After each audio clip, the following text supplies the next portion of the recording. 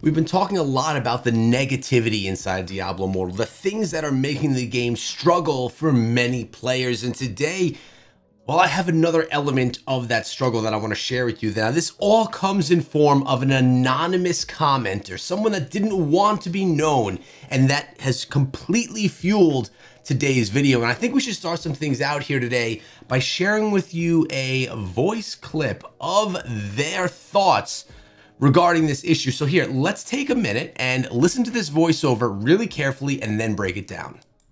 My answer to what is the problem with Diablo Immortal, it's, it's pretty easy. You know, if, if I look at the game, it's simply that it limits the grind, you know, having all these soft caps and penalties. You know, I'm aware of some of the reasons why they do that, but it basically stops people from doing what they love the most with an ARPG game. For example, limiting normal gem drops. You know, you need 20,000 of them to max a single one. And, you know, limiting that is completely unnecessary. Another example is, you know, whenever you grind so hard and you have these random zone events, you know, you get salvage material from the chest. Yeah, at some point, it spits up nothing. It's an empty chest that opens in front of your eyes and you get nothing, nada. So where's the fun in that? You know, I mean, you keep grinding a game and eventually get zero return. All right, so let's break this down in two different ways. The first way is the empty chest, where you can only get so much. That's what we're going to discuss first. And then I'm going to go in depth about the gems that he discussed. So let's talk about it in forms of Helliquary, let's say. You can do your Helliquary with your warband twice per week and get five rewards. If you do five Helliquaries, you'll get those bonus chests and you'll get a whole bunch of rewards and you'll get your regular rewards and it's extremely rewarding. But if you do a sixth one, you get those chests and there's absolutely nothing inside of them. Why would you do it if there's absolutely no reward besides trying to help others or just trying to do it for fun with the community. But why hold back the rewards? And these caps that he's that this anonymous speaker is talking about the whole time, it doesn't make sense to me. Why are these caps in place? I don't know what the purpose is. Is it so that the free to play players are going to have the ability to catch up? But that really does then limit the grinders, whether they're free to play grinders or whether they are whale grinders, it's limiting players that are diehards of the genre. Action RPGs are all about diehards who love to grind just to find that like next piece of gear they've been looking for for so long. Now, I have four pages of comments. Uh, we're gonna go into let's let's dive into the first one right here. The first comment here is you lose your joy for playing Diablo Immortal because you consistently hit a wall of sorts that prevents you from receiving your dopamine. If you don't know what dopamine is, that's the pleasure center in your brain. It brings you pleasure, right? So it's the thing that's going to make you keep coming back.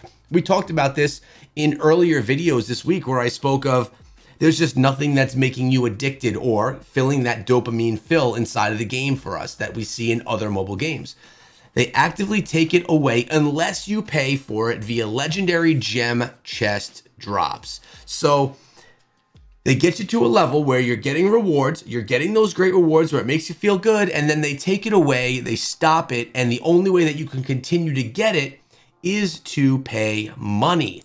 And to me, that's not cool. That's not okay. I, I don't now I think there's a lot of issues going on here, a lot of things that we've been broke breaking down over the past few days. Because if you don't know, I've kind of been breaking down the issues with Diablo Immortal every single day. And I have two more interviews coming out in the following two days from this video already recorded discussing problems with the game. You're going to want to be there and make sure that you check those out as well.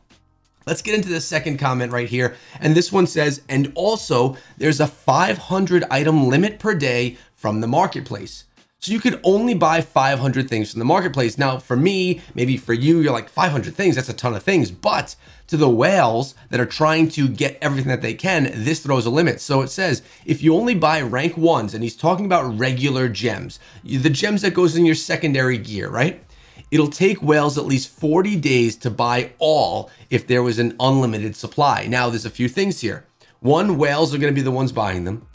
Two, it takes 40 days to buy all of them at rank one if there is an unlimited supply, which we already know there is not an unlimited supply. Only ones that are being put up there are ones that are being farmed or sold from your own backpack. And there's not going to be that many inside of the game. So it's really not realistic to be able to get that much that quickly. But 40 days. And that is just for one single rank 10 gem. One moment. So the question comes to one single max level gem, one single rank 10 gem. Now, we have our, our set pieces of gear. There are six of them, no? And they don't all just hold one gem now, do they? So this brings in some math and we have it broken down right here. So there are a total of 19,683 gems that you will need to rank up everything to rank 10 max level. Let's break this down and let's do it in a free to play player's way. You would need 19,683 gems. You could farm 18 gems per day, 365 days in a year. All right. Three years of collecting 18 gems per day. And it's unfortunate that it won't just be a single type that you need. So you're literally getting like the random types of gems. It would take three years to collect that many. How many normal gem slots do we have? Oh, well, interesting. There are four slots that can have up to three sockets. So let's say there are three sockets that will be 12 different gems, and then two slots, your rings, with one socket. So this comes out to being 14 different gems that you would then need to grind up to level to level 10. So with the current imposed limit of 18 gems per day, we're looking at 41 to 42 years approximately of grinding. 40, let's just say 40 years of grinding if you're just going to get them from farming and not buying any from the shop. Not buying anything with any platinum, just farming. 40 years. If you only farm them from being in a party and hidden lair, not including bonuses from the events, because I believe that hidden, oh yeah, hidden lairs, you get them as well. You just don't get the ones that you could sell. So 18 per day is that limit to rank all your slots up to rank 10. Now, I'm all for grind. I like grind. I've always liked it in my gaming, whether it's grinding walls in Clash of Clans or grinding gear in Diablo. It's similar type of play, right? You're grinding with something that may not be your favorite thing to do, but you're putting the work in because you want to get to a certain point. 40 years is too much. It's it's too much by 40. It, it, it should not be that much. Like it's it's insane that it's not realistic. The game's not going to be here in 40 years.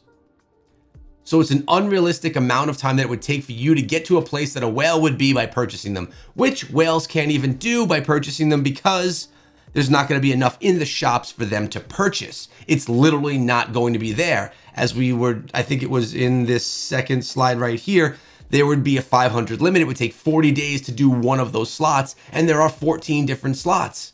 So 40 times 14, what is that? I, I could do quick math, but I want to be accurate math. So if we do 40 times 14, it equals 560 days for a whale to buy their maxed amount every single day, assuming the max amount was there every single day. It would take them 500 and whatever that was days I said. What was it? 560 days. Oh, like a year and a half plus. And since the gems are not available like that, you wouldn't be able to have enough. It wouldn't even be realistic of a number. But now let's break it down even more because it takes 19,683 gems to get a single rank 10 gem. 20,000 gems almost but wait, you're like, oh, that's all free. I can just grind that. I can just grind it for 41 years and I'll get it. I'll get there. I'll, I'll be there one day. Well, the process will also consume 531 Echo Crystals. Don't they cost 500 platinum apiece? Yeah, so it's going to cost you quite a bit of platinum as well, which is not free. Unless if you are taking your gems and selling them or selling your crests or uh, not your crests, selling your charms and things like that.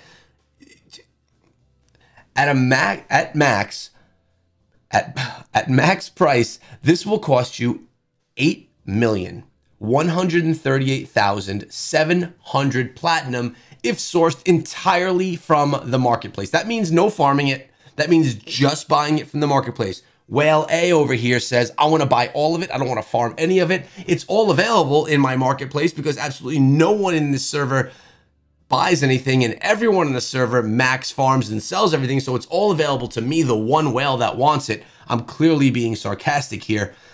It would cost 8 million platinum.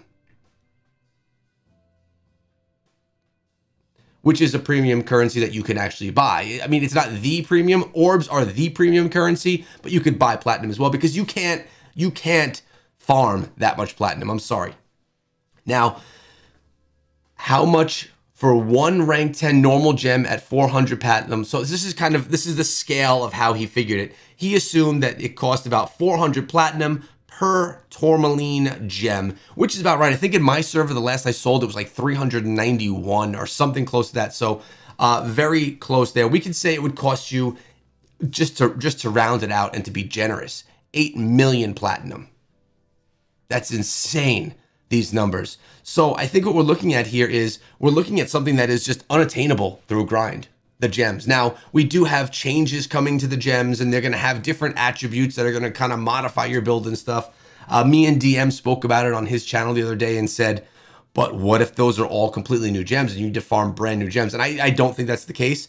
Man, if that's the case, that would be really bad news. But uh, we have an unattainable feat in front of us unless if we spend money. But even if you spend money as whales, you can't get there because there are whales that have maxed out resonance from maxing out all of their legendary gems, but they still can't get enough of the set item gems, your normal gems, to max out those builds. There are not enough on the servers. There are not enough being sold. There are not enough being farmed because of caps that are in place. Is this a problem that you see inside of Diablo Immortal amongst all the other problems that I've recently brought up in this past week? I want you to let me know what you think in the comment section below. And lately, I've been doing some really big highlights of amazing comments coming from all of you. And one of them I think actually comes out tomorrow. So make sure you watch that one and sub to the channel so you don't miss it. That'd be good.